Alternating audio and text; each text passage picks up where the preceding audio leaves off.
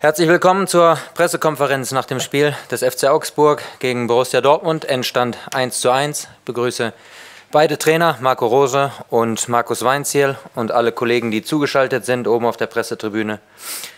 Äh, Herr Rose, wenn ich Sie um Ihr Fazit bitten dürfte.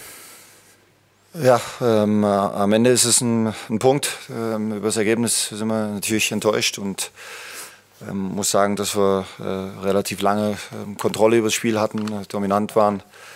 Ähm, den einen oder anderen Fehler auch in der ersten Halbzeit hatten am Anfang, aber dann gut ins Spiel reingekommen sind und ähm, äh, die Führung, denke ich, war dann auch, auch verdient. Äh, dann war natürlich klar, dass Augsburg irgendwann ähm, äh, auch ähm, aufkommt, äh, Wechsel, Frische bringt und wir möglicherweise aufgrund auch der, der Donnerstagspartie dann natürlich auch ein paar Körner ähm, äh, ja, haben liegen lassen. Und äh, in der Phase, glaube ich, wo, wo Augsburg dann einfach auch ähm, das Risiko erhöht, hätten wir äh, dann einfach den Punch setzen müssen. Und ähm, dafür haben wir aber die, die Räume nicht gut genug gefunden, haben nicht, äh, war nicht klar genug ähm, und äh, haben dann ja, das nach einem Ballverlust den Ausgleich bekommen. Hinten raus war es dann nochmal noch mal wild, haben wir nochmal angeschoben.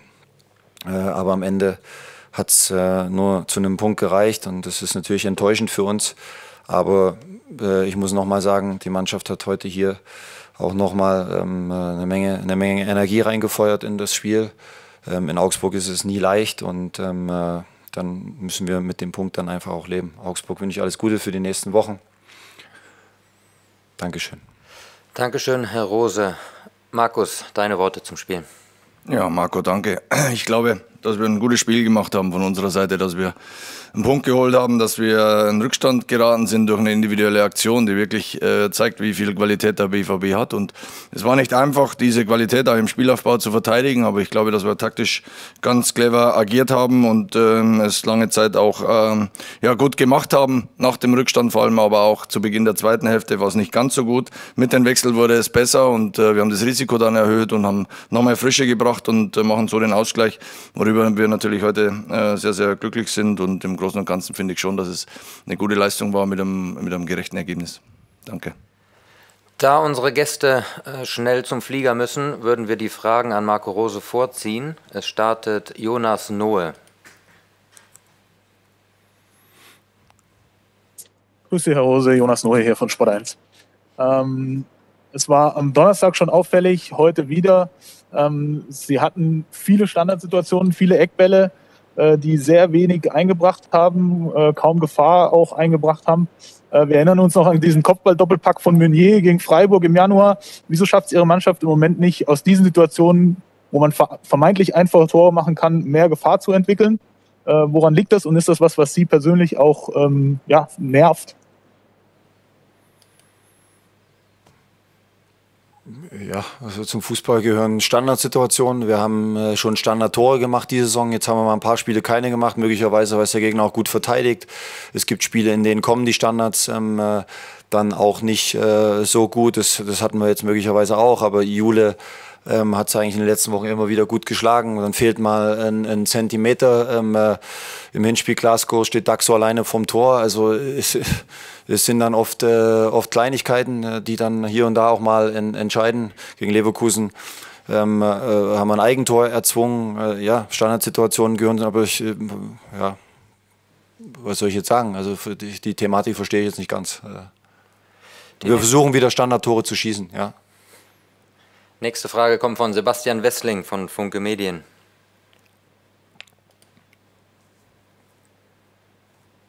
Ja, und ähm, die richtet sich jetzt äh, in dieses Spiel. Ihr habt, äh, es lief vieles für euch, ihr seid in Führung gegangen. Ich finde, ihr hattet nach der Halbzeitpause eigentlich somit sogar die beste Phase. Ähm, sehr, sehr druckvoll und dann äh, ist der Mannschaft das Spiel so ein bisschen entglitten. Worauf führst du das zurück und wie erklärst du dir das?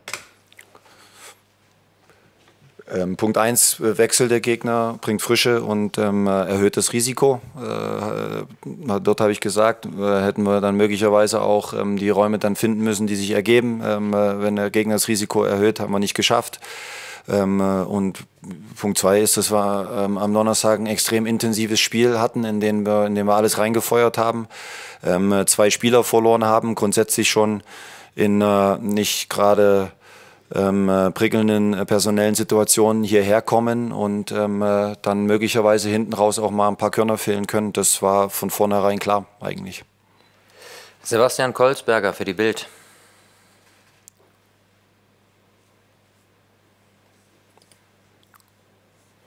So, jetzt, ähm, Marco, in der, in der Vergangenheit war es ja so, es waren gute Spiele dabei, es waren viele Spiele, wo ihr Punkte liegen gelassen habt, die Pokalspiele oder Pokal, wo ihr rausgeflogen seid, Europa League, Champions League war ein bisschen enttäuschend.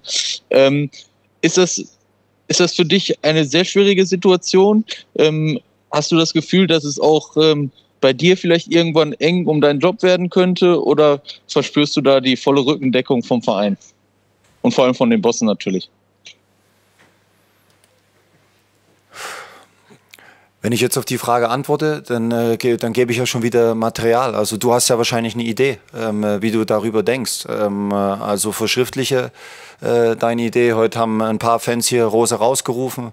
Ähm, keine an angenehme Situation für einen, äh, für einen Fußballtrainer. Äh, aber ähm, äh, ich kann die Situation ganz anständig einschätzen, glaube ich. Wir sind alle sehr, sehr enttäuscht ähm, über unser Abschneiden in, in jedem Pokalwettbewerb.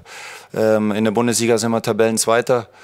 Äh, wenn wir irgendwo Champions League, ähm, Pokal äh, oder Europa League ähm, die nächste Runde erreicht hätten, würden wir jetzt hier vielleicht über andere Dinge reden. Im Fußballsport sind, äh, sind die Dinge oft so nah beieinander ähm, äh, und um andere Sachen mache ich mir im Moment keine, keine großen Gedanken, sondern ich arbeite mit den Jungs. Wir versuchen jetzt das Maximum rauszuholen aus, aus der Saison, aber Coole Frage. Zum Abschluss Cedric Gebhardt von äh, Ruhrnachrichten.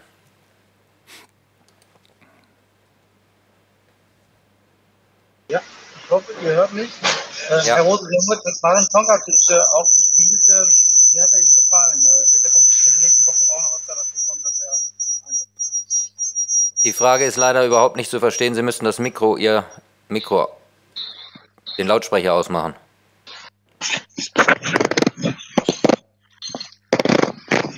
Ja, jetzt. ich hoffe, jetzt bin ich besser zu verstehen. Sie haben mit Marin Pongracic spielen lassen. Ähm, wie bewerten Sie seine Leistung und seinen Auftritt? Es wird ja wahrscheinlich noch häufiger dazu kommen angesichts der personellen Engpässe in der Defensive. Ich glaube, dass Marin uns, ähm, äh, ich erinnere mich an sein erstes Spiel in Leverkusen, ähm, äh, schon in vielen Spielen auch äh, viel gegeben hat und ähm, äh, man äh, ähm, merkt ihm immer mal natürlich auch an, dass es äh, ja, ein bisschen Nervosität, ähm, dass es was Besonderes für ihn ist, in, in, in diesem Trikot zu spielen. Es ist ein großer Verein. Ähm, auch heute hat er am Anfang ein, zwei Aktionen gehabt, wo er wahrscheinlich äh, ja auch ein bisschen, äh, ein bisschen nervös gewirkt hat, aber er hat sich reingearbeitet in dieses Spiel. Ähm, äh, er hat hinten immer wieder auch mal wichtige Situationen geklärt. Er hat Bälle gewonnen. Äh, am Anfang nochmal hat er etwas fahrig und, und nervös gewirkt, aber hinten raus äh, hat er sich dann hat er sich stabilisiert. Gut, das war's mit Fragen an Marco Rose. Dankeschön. Sehr gerne. Guten Heimflug. Ebenso. Ja, schon fertig. Nee, da gibt es noch ein, zwei Fragen, glaube ich. Johannes Graf von der Augsburger Allgemeinen hat die erste Frage an Markus Weinzierl. Hallo Herr Weinzierl, ähm, wie geht man jetzt mit diesem Punkt um? Äh, nehmen Sie da eine Gratulation an oder sagt man, ja, ein Punkt ist kein Sieg? Und äh, die anschließende Frage, mit wie viel Zuversicht kann man jetzt nach Bielefeld fahren? Nein, man kann auch für einen Punkt gratulieren. Äh, sind weniger wie drei, aber ist trotzdem einer, der uns in der Tabelle jetzt gut tut, der uns äh, nach oben klettern lässt. Und ähm, ist zwar nicht entscheidend, aber trotzdem ein schönerer Anblick. Und äh, ich habe es Ihnen gesagt, dass wir es in der eigenen Hand haben. Und wenn wir so spielen wie heute, dann ist es äh, ja eine Basis, wo wir zuversichtlich sind, dass wir unser Ziel erreichen. Und genauso sind wir zuversichtlich, dass wir auch in Bielefeld gewinnen können oder zu Hause gegen Mainz oder auch in Stuttgart oder auch in den nächsten zehn Spielen einfach äh, von den 30 Punkten die notwendigen für den Klassenerhalt holen. Dominik Mesch von Presse Augsburg. Ja, Herr Weinzel, äh, in den letzten Wochen hat man schon immer gesagt, Einsatz und Wille passt, die Mannschaft versucht es hat oft nicht gereicht. Warum hat es heute gereicht? Das ist das eine. Und das andere ist, ähm, gerade in der ersten Halbzeit haben die Pässe nach vorne nicht immer so ihren Adressat gefunden. Woran liegt dann sowas? Weil ja, das ist Können, haben sie ja dann in der zweiten Halbzeit besser bewiesen.